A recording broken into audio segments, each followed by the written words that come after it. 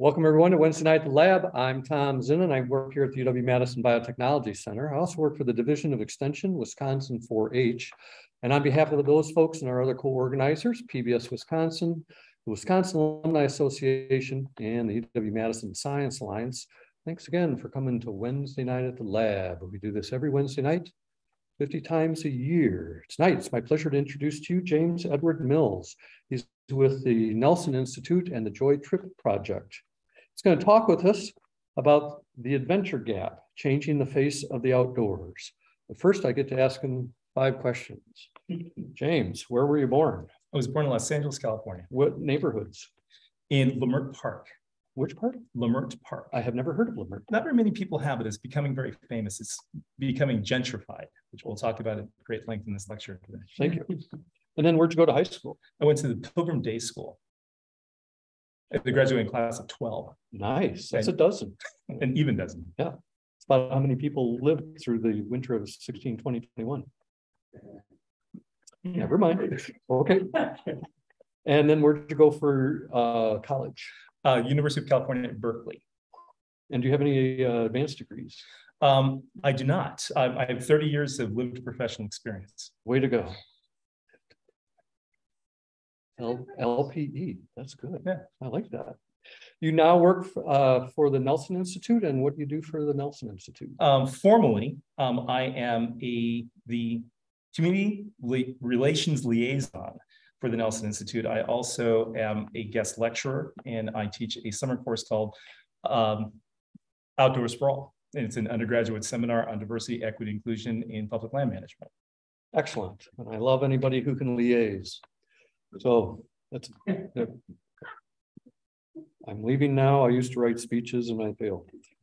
Um, I'm looking forward to this. Uh, I had a great time writing up the little missive from last night, thinking how important being out in the uh, wilderness, especially the boundary waters, was for me at a young age. I hope everybody gets that opportunity. Please join me in welcoming James Edward Mills to Wednesday Night at the Lab. Topic. Well, good evening, everyone. I can't tell you how happy I am to have this opportunity to not only speak in front of a live audience, but also to engage what is probably thousands of people at home um, watching this talk that I've actually given so many times. I have a hard time believing that anybody in Dane County hasn't heard this yet. So thank you very much for being here. And if you're, you're hearing this for um, the second or third time, I'm, I try to make it better every week.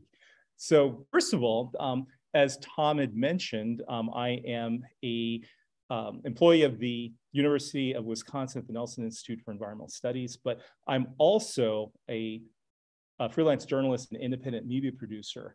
And I have a, a, specialty in outdoor recreation and environmental conservation, but a further specialty in uh, issues of diversity, equity, and inclusion when it comes to the management of our public land.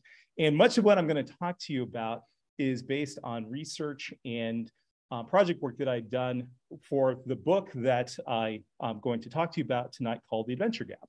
Now, some of you might recognize this landscape. If you don't, um, I can tell you that this is about a quarter of the way down the Colorado River through the Grand Canyon.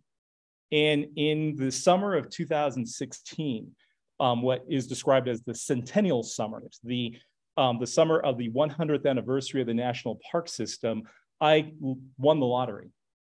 And by that, I mean that I was part of a group of people that won the lottery for a unguided trip down the Grand Canyon.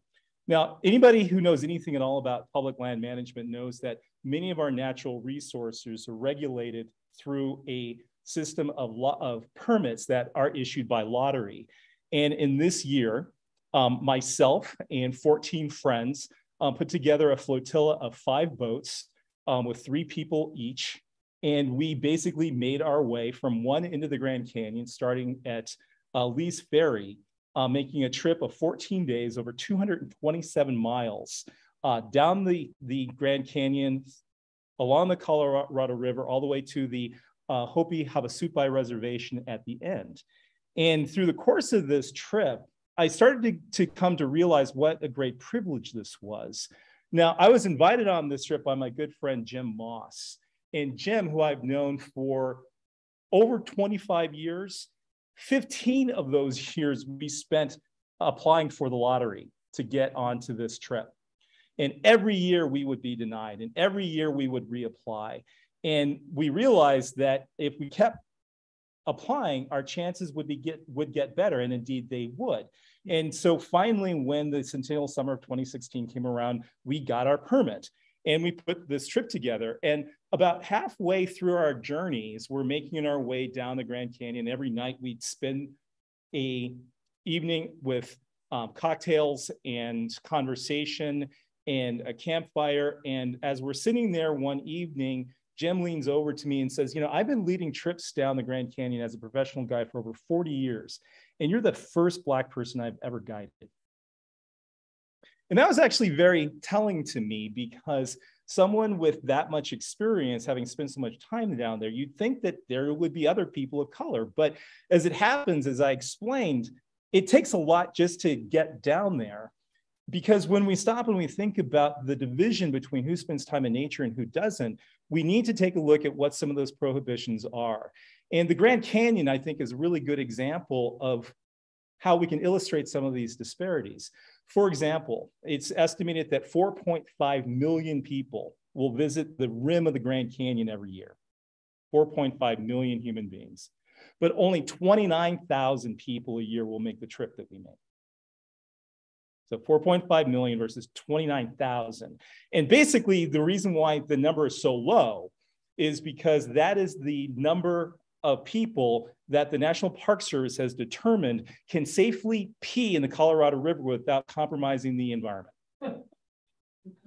it, and that's the magic number 29,000 people. Because if you, the minute you get to 29,001 person, everything gets thrown out of whack. And so, in order to maintain the integrity of the natural resource, we have to limit the number to 29,000. Now, that's not to say that Black people people of color, Native Americans, Hispanics, Asian Americans don't visit the Grand Canyon. In fact, they do. Um, on the way out, and as we were visiting with folks coming out of the Grand Canyon, we actually met quite a few um, people who came out to en- enjoy this, um, this natural, natural resource. But from what we can describe as an adventure experience, like I did, like we were having on this river, it was actually very limited. And so much of what we're going to be talking about tonight is how we can ultimately increase the number of people who can actively engage in activities like this. Now, as I mentioned, I grew up in Los Angeles, California, and this is actually a photograph um, taken not far from where I grew up in the neighborhood that I, I uh, referred to a minute ago as Leimert Park. In fact, um, my parents live right there. And this is the neighborhood that I grew up in. And this photograph was taken um, in an area, and this is the exact geolocation of the house that I grew up in in Los Angeles, California. And that photograph was taken um, in this spot called the Baldwin Hill Scenic Overlook. And the view that you see there um, is is exactly three miles from where I grew up. And from that spot, you can literally see all of downtown Los Angeles. And in the distance, you can see the San Gabriel Mountains. And if you go there today, there's an amazing system of trails. And these trails are, um, are well traveled by people using this resource for recreation. There's an interpretive ranger that leads tours through the area to talk about the flora and the fauna of this particular area. And what's remarkable is that this is in a very densely populated portion of Los Angeles. And as these photographs illustrate, the population is actually very representative of the people who use this resource as well as the people who live in this community. And that is basically a product of much of the socioeconomic and political progress that Los Angeles has made over the last 60 years through the civil rights movement. But when I was a kid in the 1960s, the same area looked more like this.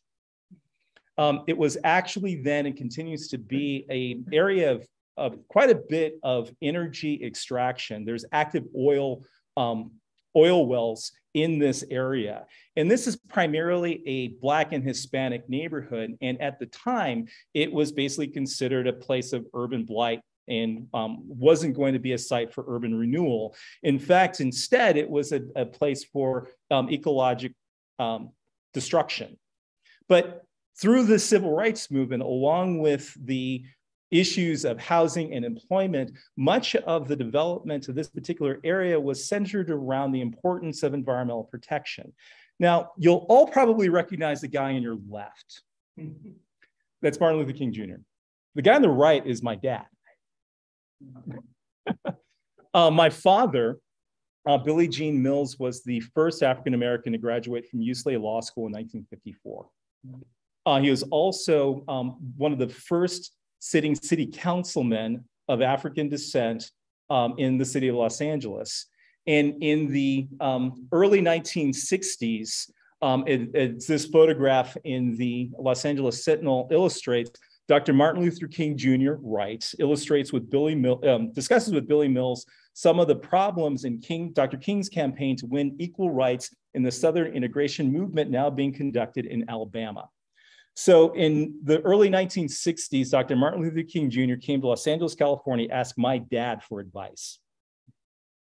So you can only imagine what that does to a young person when they're trying to decide what they're going to do with their life. It really set for me a very high bar in terms of what I was expected to do as an adult growing up. Because my dad was an amazing guy. He was quite the mover and shaker in Los Angeles at the time. In fact, this photograph um, he's standing there next to the men in military uniform. Sitting next to him is Mayor Tom Bradley, who's the first Black mayor of Los Angeles, and he's shaking hands with John F. Kennedy.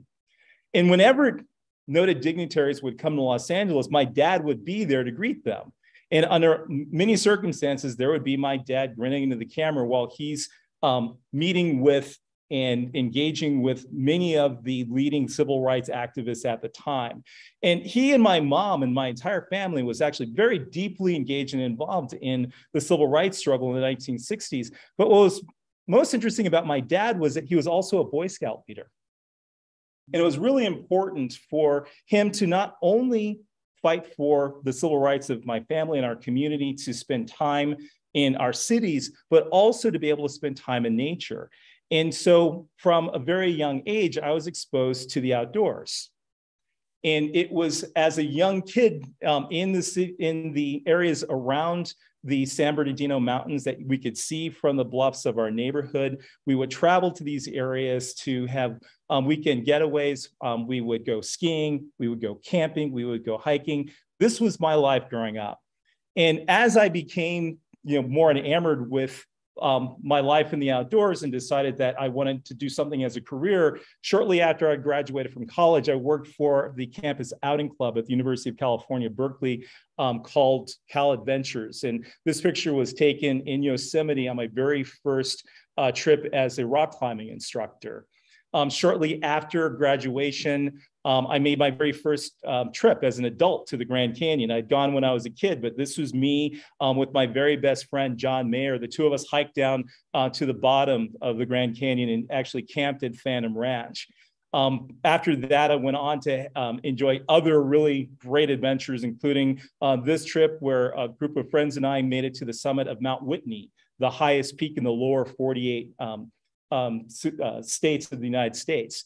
Um, this photograph marks the beginning of my professional career. Um, shortly after I graduated from college, I worked for a little company that you might have heard, heard of called REI. Um, and I ran the rental department at the Berkeley store, and they liked what I did so much that I decided I was going to make a transfer over to customer service at another little company that you heard of called the North Face. And in, two, in 1992, um, I was hired to be the very first um, African American sales representative to work in the Midwest Territory. In fact, that's what brought me to Madison. Um, from 1992 to 1995, I ran the entire um, sales department for the North Face in this part of the country. In fact, I managed a territory that I like to describe as the Louisiana Purchase. Um, because it included Wisconsin, Minnesota, Illinois, Iowa, Missouri, North and South Dakota, and the Upper Peninsula of Michigan. And I literally drove that territory for the next 10 years with me and my dog in an Explorer, in a Ford Explorer truck and just had a fabulous time. And after um, um, working, um, selling hiking boots, tents, and sleeping bags to people in stores that you probably shop at, like Fontana, and some of you probably remember the old Erewhon stores. Um, I also worked um, doing um, some international guiding. This is a photograph of my good friend Carl Jacobs and I circumnavigating Lake Titicaca in Bolivia. Um, I went on to have some really great climbing excursions and um, enjoyed a fabulous career, got married, bought a house, lived my life. But one of the things that I noticed that many of you probably noticed in these photographs is that I, I was almost always the only person of color in any of the professional and personal experiences that I was having in the outdoors. And I didn't know why. And I was trying to understand exactly what was causing that. And when I started making noise in my professional life in sales and marketing, I started getting some pushback from the industry, quite literally having sales managers tell me, James, that's just not our market. And I didn't understand that either. How are cold people in need of clothing not your market? You know, how are people who have an interest in spending time in the outdoors not something or some people that you would want to sell products to? And so around the events of 9-11 in 2001, I made a career change. I closed down my sales and marketing agency. I retrained as a journalist, uh, got a job working um, as a business reporter for the Wisconsin State Journal and completely rechanged my career working on stories about the importance of environmental protection, finding the stories, especially of people of color, you know, people who had backgrounds similar to mine that were making their way in the outdoors, but for some reason weren't very visible. And in 2009, I created a blog and a podcast series called The Joy Trip Project, um, which is now in its 14th season. Um, it's available on online and also on iTunes. And if you're interested in hearing some stories, many of which I'll tell you this evening, um, this is my online platform where I tell narratives about why it's so important to share the outdoors with a, a, the broadest cross section of the American po um, populace as possible. Now, all of this really came to a head shortly after I started my online platform um, with the introduction of a film that some of you might have heard of called The National Parks America's Best Idea. If you haven't seen it, I definitely recommend it. It's available on YouTube, on iTunes. It's um, a fabulous 12 hour miniseries um, written and directed by um, famed um, filmmaker Ken Burns. And in 2009, I had the rare privilege to be able to actually go to Yosemite and personally interview Ken Burns and a guy who looks a lot like John Muir. In fact, um, Lee Stetson um, is an actor who actually plays Muir in this documentary series in period voice and clothing about what the Park Service was like in its creation. And I was really excited to quite literally get a master class on the history, heritage, and legacy of the very beginning of public land management, going all the way back to the very beginning. And I asked Burns in our conversation, so how are you going to make the national parks and the stories of the national parks more accessible to the underrepresented segments of the population that we seldom see in the outdoors. And he proceeded to tell me something that I'd never heard before. Now, in 1903, when this photograph was taken, John Muir and Teddy Roosevelt are having a conversation about how they're going to protect and preserve these wild and scenic places. And at the turn of the century, Teddy Roosevelt did what Teddy Roosevelt does. He sent in the army. And in the earliest parts um, of the conversation around protecting our national parks, what we wound up doing was sitting in military occupying forces to be able to protect, patrol, and preserve this public land because it was subject to all kinds of things that cause parks damage forest fires, poachers, um, people who are illegally grazing sheep. All of these things were putting this natural resource at risk.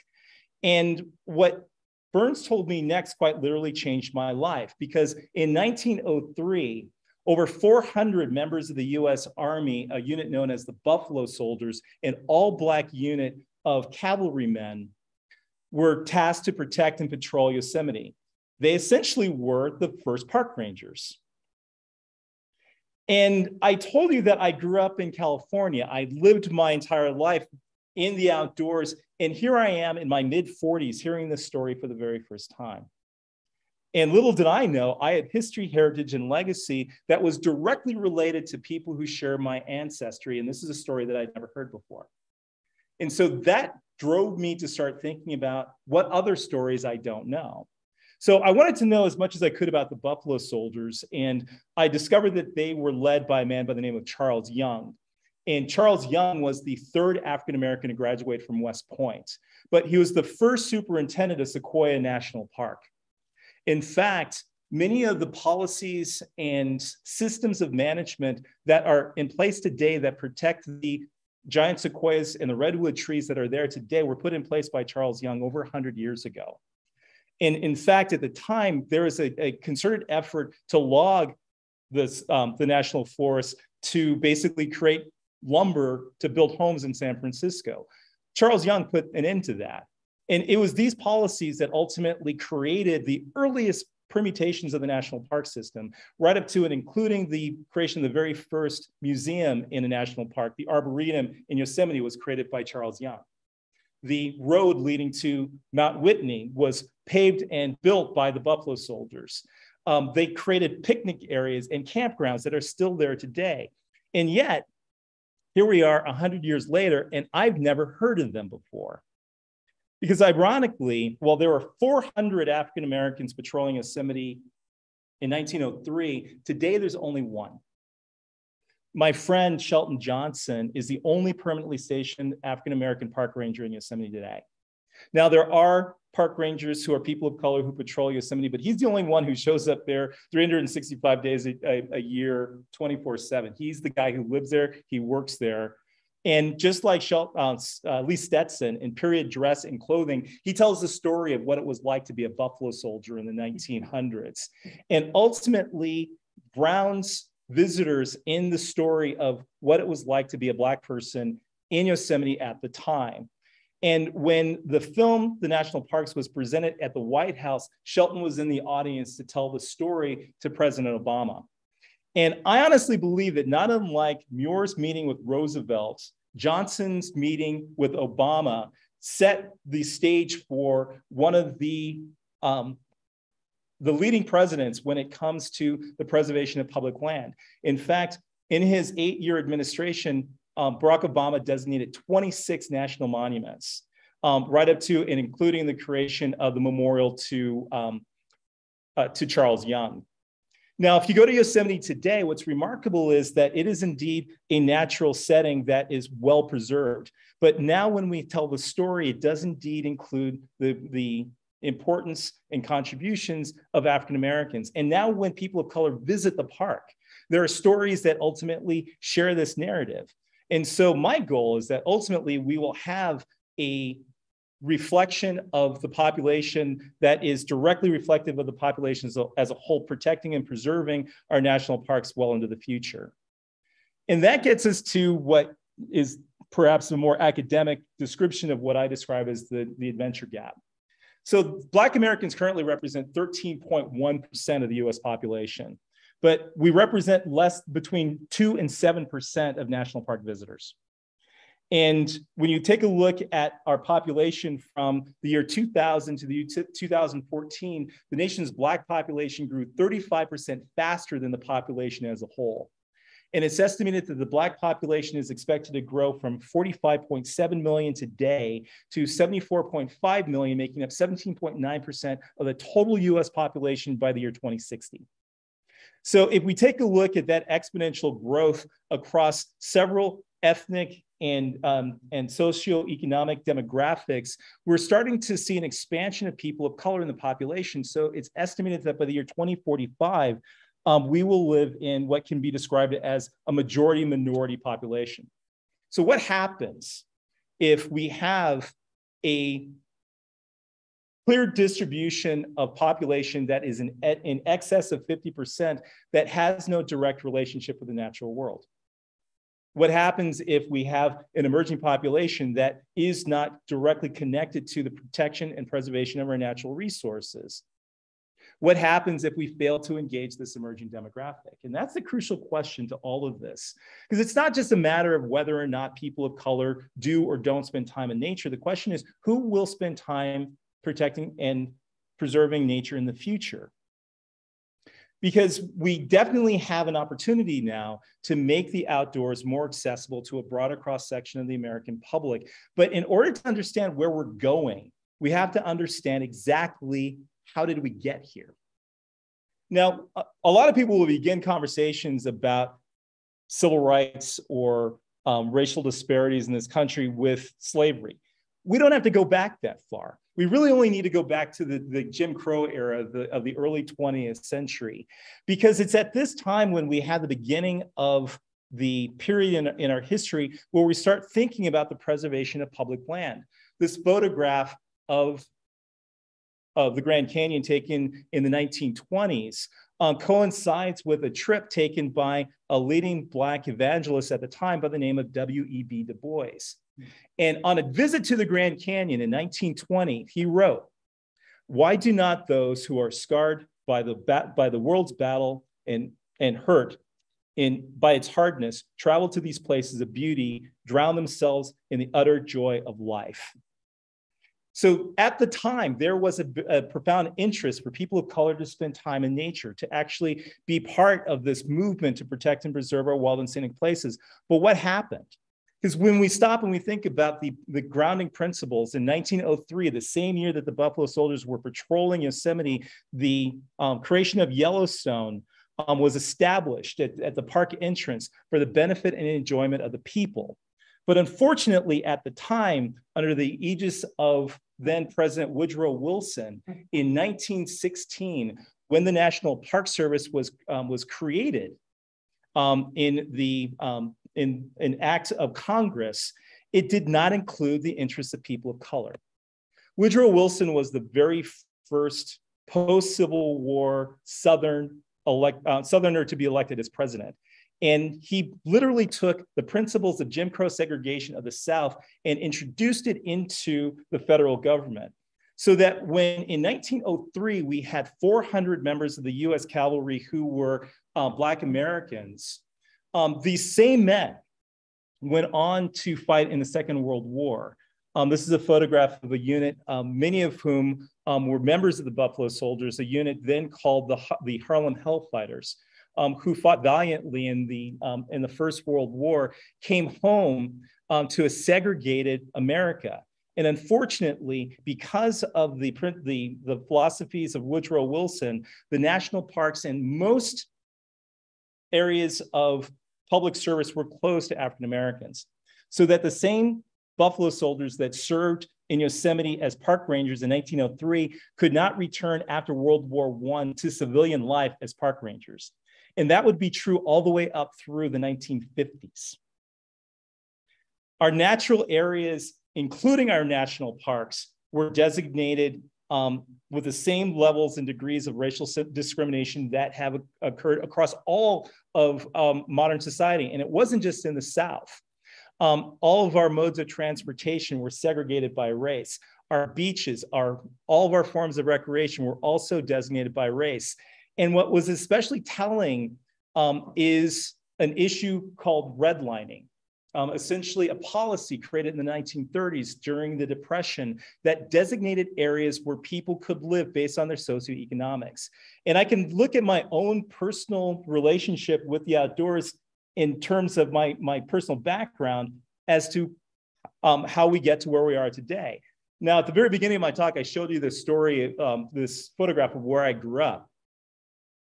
Um, this is a redlining map created in the 1930s um, and this is basically a breakdown of the red areas in the communities where are um, designated for um, uh, where uh, Black and Hispanic people are allowed to live. And these are very urban areas with very little green space. If you take a look in the green portion in the upper um, regions, that is where the, um, the prime real estate is. In fact, that, that big green spot right there, that's Beverly Hills, California. And it's these areas that are near green spaces that are open to um, to recreational opportunities that were essentially denied to people of color. And it's interesting though, because um, as I explained to you with regard to my own personal relationship with uh, my father and the role that he wanted to play in terms of making the outdoors more accessible to his family and his community, while the civil rights movement is going on, we're talking about a variety of different things that many of the, the, same things that we're talking about today. We're talking about housing discrimination. We're talking about access to fair wages, to the ability to live and to work where we want to.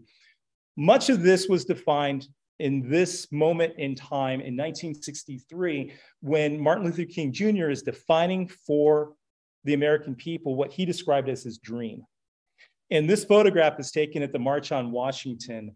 And in front of 250,000 people, he essentially defines what he would hope that the nation would become. And it's at that moment where he defined what he would hope would be a world in which a person could be judged not by the color of their skin, but the content of their character. But what's interesting is the very last paragraph of the I Have a Dream speech reads, From every mountainside, let freedom ring. And if America is to be a great nation, this must become true. So let freedom ring from the prodigious hilltops of New Hampshire. Let freedom ring from the mighty mountains of New York. Let freedom ring from the heightening Alleghanies of Pennsylvania. Let freedom ring from the snow-capped Rockies of Colorado. Let freedom ring from the curvaceous slopes of California. From every mountainside, let freedom ring. Now, he's talking metaphorically. You know, I don't think that he was necessarily speaking literally, but the case could be made that maybe he was. So in the um, September issue of Ebony Magazine, a month later, the March on Washington is the, the top story. On page 87, there's an interesting story about a man by the name of Charles Madison Crenshaw, who's described as a weekend climber. And um, he is a, um, a, a, Boeing employee who lives in the Pacific Northwest in Seattle, Washington. Um, Charles Madison Crenshaw was a member of the famed Tuskegee Airmen in World War II, he was a flight engineer working on the planes that were flying bomber escort missions um, over the European theater. Um, he served his, his country valiantly in the Second World War, came back to this country, got a PhD in mechanical engineering from the University of Chicago in 1952. But he was told by his instructors and many of the people that he was studying under that quote, it would be very unlikely that you will find a uh, career in your chosen profession as a Negro. So disavowing all that, he relocates to Seattle, gets a job for the Boeing Corporation, and is employed working on the um, Apollo lunar lander module missions. He's quite literally helping to put men on the moon. But he's also a member of the Seattle Mountaineers. He's an avid outdoorsman and spends quite a bit of, of time um, climbing and working in the areas of the Rocky Mountain National Park, as well as on um, uh, setting new routes on Mount Rainier. And in 1930, in 1964, when the 37th expedition to reach the summit of the highest peak in North America, a mountain then known as Mount McKinley, was being put together, Crenshaw was the very first person to be invited. And in a team of 15 climbers, um, they ascended to the mountain um, and essentially he ultimately became the first African American to reach the highest summit in America. And what's remarkable is that seven days earlier, Martin Luther King Jr. is overlooking the shoulder of Lyndon Johnson as the Civil Rights Act is being signed into law. Seven days later, Crenshaw literally personifies King's Mountain Dream, taking it out of the realm, realm of metaphor and into the realm of reality. But what is interesting is that when you take a look at this photograph of the summit, it's really difficult to tell who the black guy is. Okay, just so you know, Crenshaw's the guy on the far left. The guy on the far right is Alan Randall, the expedition leader. The person in the middle is Alan Randall's wife, Frances. That's a woman. She became the third woman to reach the summit of Denali. What's remarkable is that this photograph, I think, beautifully demonstrates that the color of your skin has nothing to do with your aspirations to spend time in nature. Mountains don't discriminate, neither, neither does altitude, gravity, low temperatures. We're all judged is ostensibly by our character. And it's in nature that we can ultimately find our ultimate expression of what it means to be um, free as an American. And in his journal after the expedition was over, Crenshaw described his uh, as the following it had been so easy today for most of the climbers that it had been hard for them to realize they were actually standing on the summit of Mount McKinley, the highest point of North America. Climbers found themselves searching through the clouds for something yet higher. And that something yet higher is that aspiration to actually go beyond the physical limitations of cold weather, altitude, gravity, et cetera, and aspire to something more. And I believe that that's something more is the ability to share our love and passion for the outdoors, not as a solitary pursuit, but in the pursuit of making the outdoors more accessible to more people. So in, 19, in 2014, working with the National Outdoor Leadership School, also known as NOLS, we quite literally went around the country and tried to find people of color who were working directly with the mountaineering community to become role models in their areas so that they could ultimately become heroes in their community. Um, we recruited nine climbers, a total of six men, three women ranging in age between 16 and um, 57. And we did something that had yet to be done before. We quite literally put together a team of climbers that would become the first team that would make an attempt on the highest peak in North America, quite literally taking King's Mountain Dream as personified by Crenshaw in the 1960s and bring it forward into the present to create a modern expression of this expedition that we called Expedition Denali. And it was essentially a visual representation of the world that we ultimately want to see. Um, it was the subject of my book, The Adventure Gap, and also the focus of a documentary film called An American Ascent. And it's from this adventure that we're quite literally able to change the face of adventure so that we can have representation across the board of men and women who are people of color who quite literally change what we think about when we imagine what it is to be a mountaineer. And it's from these people that came back to their home communities to share their experience that helped to encourage um, not only careers in, um, in outdoor recreation, but also in, um, in environmental conservation and preservation. And um, we were actually invited to the Obama White House to share this story of adventure with over 350 um, Black and Hispanic young people in the Baltimore, Washington, D.C. area. And ultimately helped to create a new series of what can only be described as affinity groups, um, organizations that work specifically to engage and inspire um, young people who are on the margins of our society that, for whatever reason, don't have access to nature in the numbers that we would like to see. So we have representation um, for um, Black and Brown women in, in climbing, outdoor representation in um, the Latino community, the Native American community, um, what we describe as unlikely hikers, people for a variety of different reasons who don't spend time outside, and also people from the LGBTQ community. And so now that when we go to national conferences and we visit areas of professional discourse, we actually see a much more representative cross section of people of color in these experiences. And through the course of my career as a writer and a journalist, I've had the, pri- the privilege of writing um, a few magazine articles um, regarding the importance of being able to redefine um, what it is that adventure looks like. And it's from these images that we ultimately are able to redefine what it means to be a person in the outdoors. Um, what's really gratifying is that from that first expedition, the youngest female member of our of our team, um, Rosemary Saal, the young woman um, kneeling on the bottom, um, went on um, two years later to lead the very first all Black American summit of Kilimanjaro in Africa. And just this summer, um, she, along with a couple of other members of our team, um, went on to be um, to create the very first all Black team to make it to the summit of Mount Everest. And that happened um, in April of this year, and we're still kind of excited about it because it's been a great story.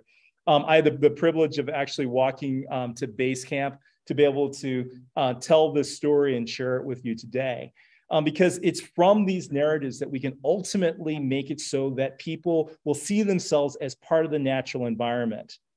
But then we have to ask ourselves this question now, after we've done all of this, are we done?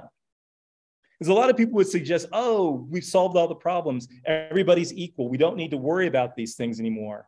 The reality is that there are there's still a long way to go. The summer of 2020 in particular demonstrated to us how bad things can get. Um, the, the case of Ahmaud Arbery, for example, a young man out for a jog who was literally hunt, hunt, hunted down and killed simply for being in the wrong neighborhood. Um, we have a wide variety of other expressions where we need to be able to tell stories that are communicative of why it is important that we not only define spaces that are open and available to people, but also share their stories. Uh, my good friend Latria Graham is a fabulous writer who, um, along with me, writes stories for um, Outside Magazine, for Backpacker, for Rock and Ice. She did a fabulous story in 2018 called um, We're Here, You Just Don't See Us, basically talking about the lack of representation.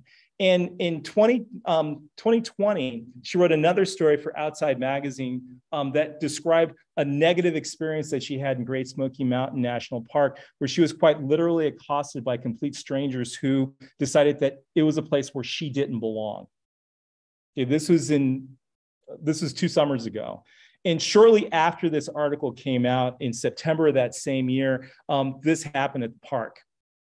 Someone had shot and killed a black bear and hung its pelt over the entrance sign to Great Smoky Mountain National Park with a sign that reads, Black Lives Don't Matter. So the reality is that despite everything that we've accomplished, there's still a lot of negative pressure that limits the experience of people of color to spend time in the outdoors. Even organizations like the Sierra Club are starting to unpack some of the um, the racism and um, divisive narratives that have been part of the modern um, outdoor recreation and environmental movement. But I think that if we can work with our institutions on the lo local level, as local as possible, we can make substantive change. Um, I have the privilege of being the vice president of the board of the Aldo Leopold Nature Center. Um, for those of you who aren't familiar with it, it is a uh, experiential education facility in Monona that carries on the legacy of Aldo Leopold. In working with this organization, I try to create very explicit language that defines why diversity is important. And so now when you go on our website, it reads, we believe that diverse communities are healthier in nature and in society. When we are thoughtful about being inclusive in how we engage, educate, and empower, we help our community to know that nature is for everyone and is a safe place to learn and explore. So this is now embedded in our DNA as an institution. And I think that it's critically important that we do that wherever we possibly can. I also formally sat on the board of the Ice Age Trail Alliance, and we took a very similar strategy towards our language here, in which we describe the Alliance acknowledges that in order to be a truly diverse and inclusive organization, we must be we must exercise commitment to these goals in the ways that we do business and how we interact with one another, our external partners, and the general public. In support of the mission of the Alliance, we're committed to recruiting, engaging, supporting, and cultivating leadership throughout all the communities we aim to serve. So by using this very explicit language, um, we can actually create a place in the outdoors that is indeed open and engaging to everyone. And most importantly, so that we will create a safe and inclusive environment for young people so that when they visit and explore the outdoors, they'll do so with the joy and happiness that I think we all will. And through the course of my work in moving this conversation forward on a national level, part of what many park rangers, including my friend Shelton at Yosemite and other um, rangers around the country, are telling more inclusive narratives about the role that Black Americans have played, not only in the creation of our national parks, but America as a whole. And um, this year, working with the National Geographic Society, um, I'm working on a new book project um, that tells the story of African American history as interpreted by the National Park Service, a project that we call Unhidden. And the goal, not unlike the story of the Buffalo Soldier, soldiers, is to find those narratives that are inclusive of a wide variety of different people that will be inclusive of everyone in the preservation of our national heritage. So um, look forward to seeing that hopefully um, in 2024. I think what we can draw from the final conclusion is from out of this mountain of despair, there's indeed a stone of hope. If you go to the Washington, um, Washington D.C. at the Martin Luther King Jr. Memorial, um, that is the inscription that reads on um, his statue, because it's that narrative of being able to find hope in the ascension of mountains and our time in the outdoors that I think we can ultimately achieve the, the change that we all hope to um, achieve. So um, I want to say thank you very much for allowing me to speak with you tonight. In the 15 minutes that remains, I'm happy to answer your questions. Um, please, if you have any other questions or would like to learn more about the work I do, you can find me at joytripproject.com. And if you scan this QR code, you'll get my business card. So um, I'd like to thank everyone for your time and attention, and I'm happy to answer your questions now.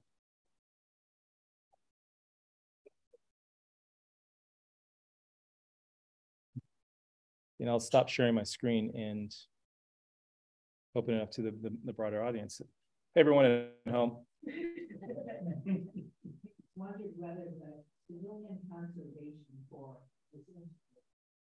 That's a great question. Um, the answer is yes and no. Okay, it was in some areas, but it wasn't in others. Um, in, in quite a few, though, um, there were um, integrated units, but they were primarily in California, um, in parts of um, the West, but in the South, definitely not. You know, and many of those areas were discriminated when it came to, um, you know, housing, rates of pay, um, and the, the, the, Civilian Conservation Corps came to an end at the beginning of World War II, and then everyone went into the military. But the military was segregated. And it wasn't until Eleanor Roosevelt at the end of the Second World War worked with Mary, Mary McLeod Bethune to integrate the national parks so that um, they would begin to um, create recreational spaces for returning GIs to have a place to enjoy themselves. It wasn't until 1953 that the national parks were formally desegregated. And the first Black park rangers weren't um, actively recruited until 1963. So it's a very, very, very long period from 1903 to 1963 that was completely devoid of Black representation in the National Park Service. But thanks for your question. Someone else? Yeah, I was wondering if you could say a little more about uh, this incident of this woman who was I guess, assaulted in a national park? And was that specifically due to racial motivations? Because I know that, you know, there's an increasing number these days of attacks and violence, say on the Appalachian Trail and numerous other uh, other natural areas. And so, I mean, that's definitely a growing problem. Absolutely. You know, and I think that it, it's it's it's virtually impossible, you know, to know exactly what's in the mind of someone who's committing an act of violence. Mm-hmm. But when it's perpetrated um, explicitly towards a woman of color who's in a national park by herself, she's in a, an incredibly vulnerable state. So we can just we can parse out what this person's motivation is. The bottom line in this particular case, this particular person was at risk. We need to make sure that whenever possible, we make people feel safe in our national parks. But again, this incident with the bear pelt, it occurred two days after her, um, her Outside Magazine article appeared. And uh, again, um, we can perhaps draw causality or not, but the fact of the matter is that these things are still continuing to happen. And I think that we need to collectively decide that we're not going to stand for it. Other questions? perhaps in our audience online, you can write your questions in the in the chat. Can you see the chat? I can't, but hopefully someone can read them for me. Okay. If, you want if they if they chat. if they appear.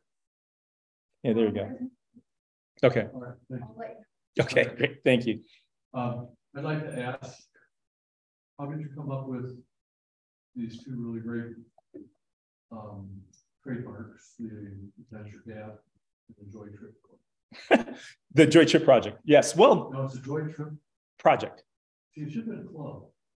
Oh, well, see, I mean, and, and that that's the interesting thing because I mean, as a no, it, no, it's it's okay. Well, you know, I saw. I mean, as I mentioned earlier, I, I, I began my career in sales and marketing.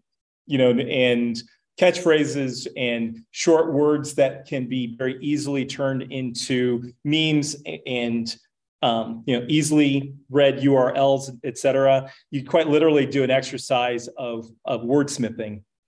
And, um, you know, the adventure gap was kind of like a, um, a, a no-brainer because we're, I was mainly looking at a variety of other types of gaps that we were talking about. You know, there's the, the housing gap, the education gap, you know, the, um, the, um, the digigap, you know, um, and talking about access and thinking, well, there's clearly an adventure gap, you know, because you know, when you take a look at the major accomplishments, that have happened in, um, in, in, in, mountaineering. For example, the first person to summit Everest um, was Sir Edmund Hillary in 1953. 10 years later, the first American summits Everest in 1963, a gentleman by the name of Jim Whittaker.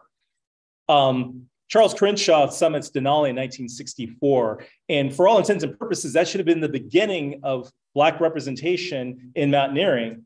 But you don't get another person to summit Everest who's a person of color until 2006. So almost 50 years goes by from the first summit of Everest to the first Black summit of Everest. And then it took another 14 years to put together an all African American team. You know, and so that very clearly de- de- defines for me that division that ultimately creates the adventure gap.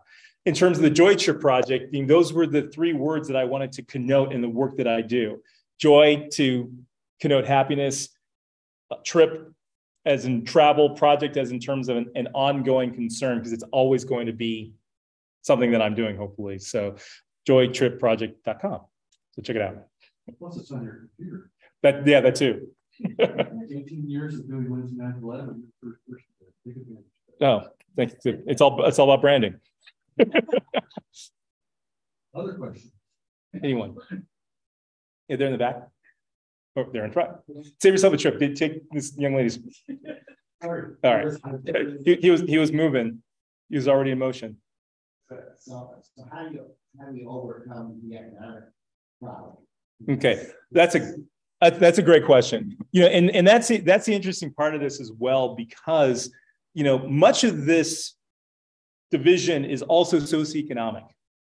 Okay, but unfortunately, socioeconomic disparities also fall along racial lines, which also fall along the disparities that are historic to this country. You know, and so um, while there is no direct correlation between being a person of color and not spending time in nature because you can't afford it, okay, it is there. Okay, and so basically the way you correct that um, is to remove the barriers to access that are socioeconomically based.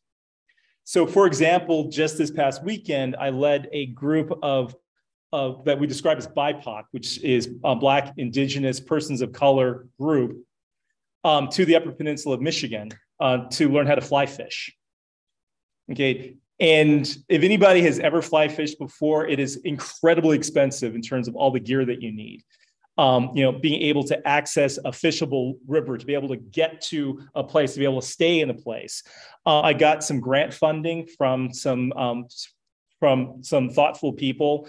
Um, we were able to um, uh, provide um, equipment, clo- um, clothing items, transportation, food, lodging, and a small stipend for 10 people to go fishing in one of the most beautiful places that you can fly fish. In fact, Ernest Hemingway wrote about fly fishing in the Upper Peninsula of Michigan.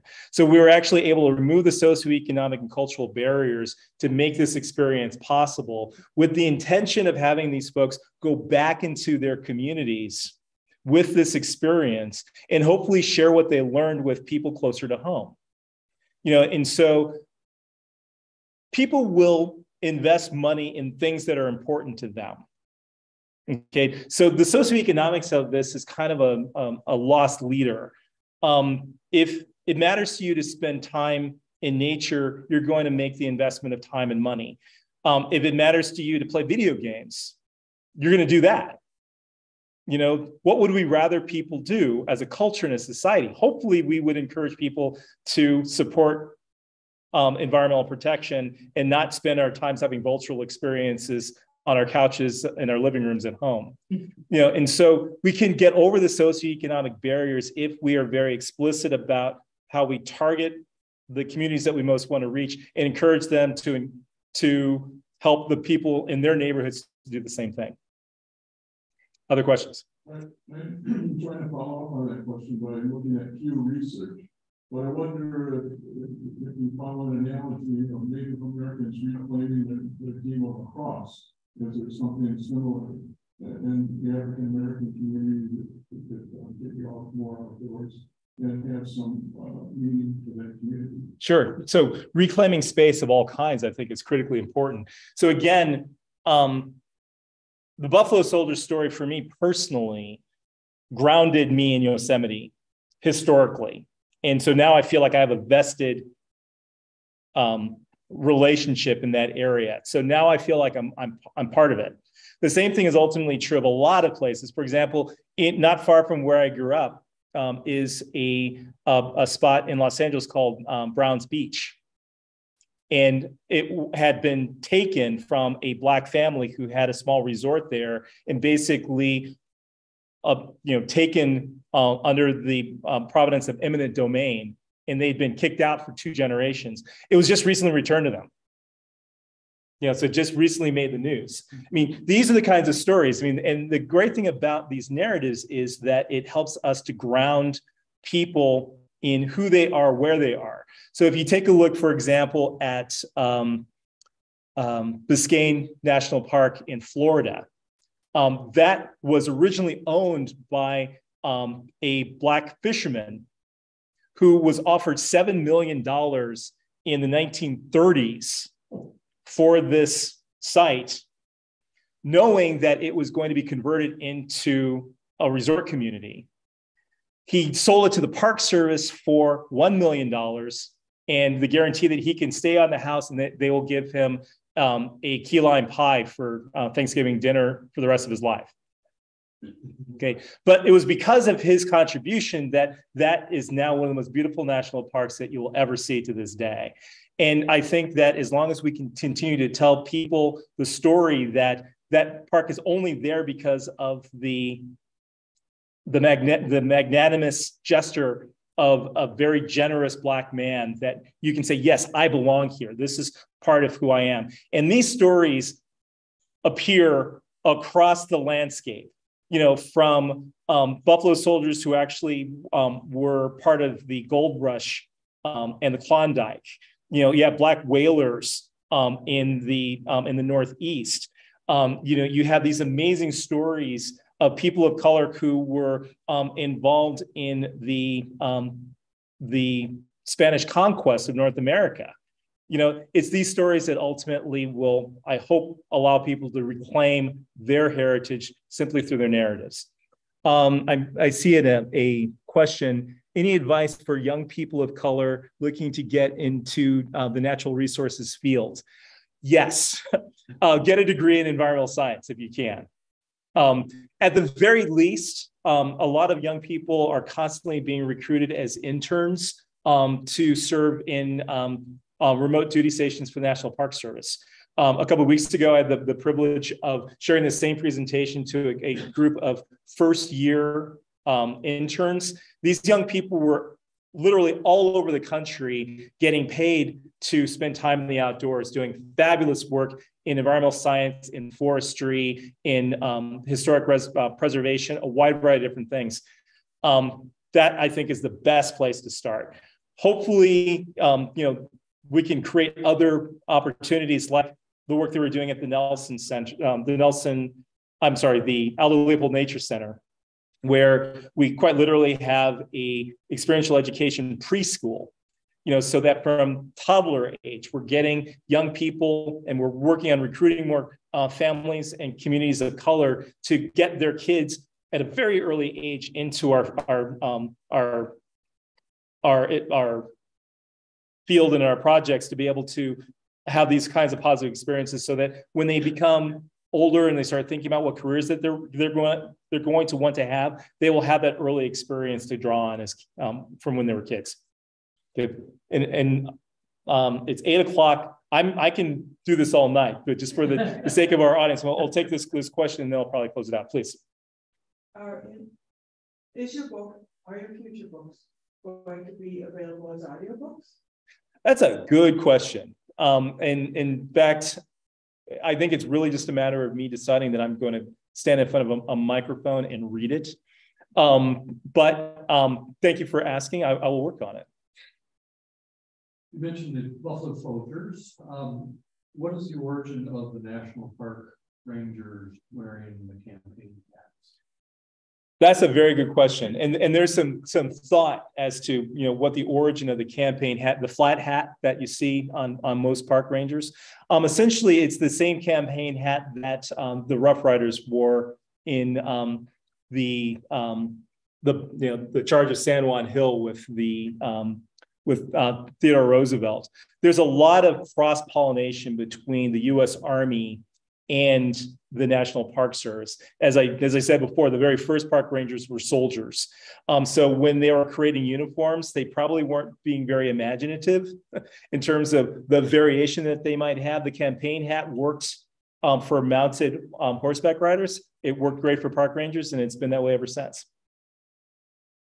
I noticed in the picture um, of you at the transom that that was a Johnson outboard motor. Not a Mercury, right? Not a Beaver. or never knew, right? Um, does anybody know where Johnson used to be made? Oshkosh? I don't know. No. I, I can't remember. I, th- I thought you, you're asking because you knew and you're going to tell us. Well, no, my grandpa had a Evinrude, so. it was Milwaukee. Hey, Name for me, Evinrude. And, uh, Any other questions? Yeah, here's, here's a bit of trivia. Um, are you familiar with the name Stephen Bishop? I am. Oh, okay, great. Yes. Well, Then I was gonna ask, uh, you should also start uh, promoting, uh, opportunities in caving for people, IPOC. Absolutely. Absolutely. Um, thank you for bringing that up. And, and, and in fact, if you listen to my podcast, The Joy Trip Project, you can get it on Apple, um, iTunes, et cetera. Um, there's an interview with a gentleman by the name of Jerry Bransford. And Jerry Bransford is not unlike Shelton Johnson, the only um, park ranger at Mammoth Cave National Park in Kentucky. And his great, great, great, great, great grandfather um, was a guide with Stephen Bishop, who uh, in 1939, Mammoth Cave became perhaps the, the, the first tourist attraction in North America. People were literally coming into Mammoth Cave to visit the biggest cave in the world, 400 miles underground of, of cave systems. It's, it's exquisite. For from 19 from 1839 to 1945, when it was designated as a national park, it was guided almost exclusively by black men. And they um, and Stephen Bishop was one of the very first guides who led tours down there. He actually um, led a tour of Ralph Waldo Emerson. And, and there's actually pictographs of, of Emerson writing on the walls in Mammoth Cave, and Stephen Bishop was there. But what's interesting is that when Mammoth Cave became the 26th national park in 1945, it was um, close to um, Black people as being park rangers. So they were literally all asked to leave, along with the entire Native American population that was still living there at the time. You know, and so you have this amazing heritage and legacy of, of Black folks taking care of a wild and scenic area, a, ca- uh, a, a tremendous cave. And the introduction of the National Park Service forced them to leave. And it wasn't until um, uh, Jerry Bransford, at the age of 65, as a retired person, um, was able to become a park ranger in Mammoth Cave, and he's he's been there ever since. He's um, he's going to be 60, 78 this summer. You know, so these stories are there, you know, and we just have to look for them. And the more I find, the more excited I am because there's there's constantly these new narratives that are grounded exquisitely in our national parks, but unfortunately are not often told. And it's only when we tell these stories that we'll actually be able to carry on that, that legacy even further. Um, you know, one of the things that I'm working on right now, um, how many of you have seen the, the, the movie Pearl Harbor um, with Ben Affleck? Okay, there's an, an, amazing scene at the very beginning where Cuba Gooding Jr., um, who's playing the part of a man by the name of Doris Miller. And Doris Miller was a, um, a, um, a seaman who, um, in the middle of the Battle of Pearl Harbor, um, jumps on a machine gun and takes out Japanese, Japanese airplanes as they're flying into a ship, saves hundreds of people, quite literally becomes the very first hero of the first, the Second World War. You know, gets the Navy Cross. Um, they they've erected um, uh, statues in his honor. Um, the next battleship is going to be named after him, and that's the next. I mean, so the next aircraft carrier is going to be named after him. All other aircraft carriers are named after presidents. This one is going to be named after a black man by the name of Doris Miller.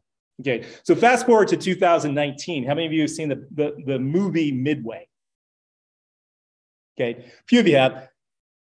The, the exact same scene happens, but Hollywood basically took the Doris Miller character out and put in a white character and did the exact same scene that appeared in the 2001 movie and completely erases Doris Miller from the narrative. So if you watch that new movie that was created just a couple of years ago, you would think that there wasn't a single black person in the Battle of Pearl Harbor.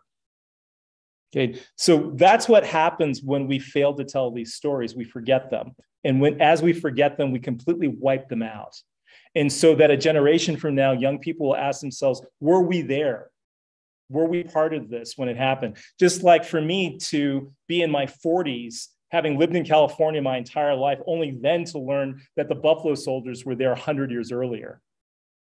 And that's what I hope much of my work will do to be able to um, ground people in their heritage so that they can ultimately become part of the future. So I'm going to leave it there unless anyone has any questions. Absolutely. Thank you very, very much. Thank you very much.